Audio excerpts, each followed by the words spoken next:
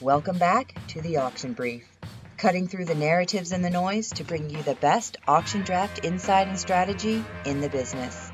And now here's your host, Drew Davenport. Hey, everybody, thanks for joining me for episode 22, another installment of the Shrug Your Shoulders series. With two of the biggest fantasy draft weekends of the whole summer coming up, I wanted to get back into the series and give you three more guys that you can nominate in your auctions that fit the Shrug Your Shoulders strategy. First up, quarterback Cam Newton. Am I sold on what Cam Newton's going to do in New England? Heck no. But we've all seen his upside, and that's the kind of thing you're trying to chase with a shrug your shoulders guy. He's probably going to struggle a little bit out of the gate, and New England does play a first place schedule. But if they let him run and use his strengths, we've all seen what he can do. So the fact that he's going in the mid QB2 range is perfect for the Shrug Your Shoulders series.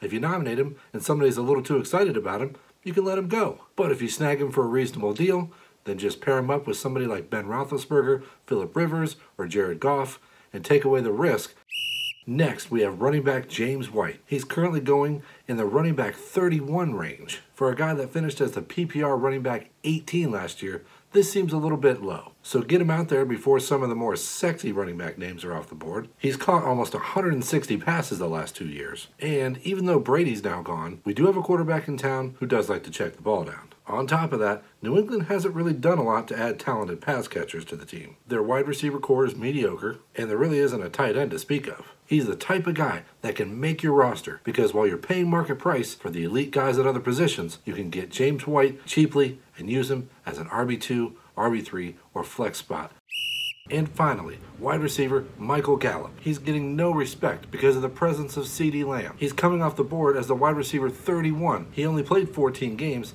and piled up over 1,100 yards. And did you know that he actually out targeted Amari Cooper on a per game basis when they played? Get Gallup out there and hope that you get him on your roster. And if you don't because he's too expensive, well, isn't that the whole point of what we're doing? The auction brief is adjourned.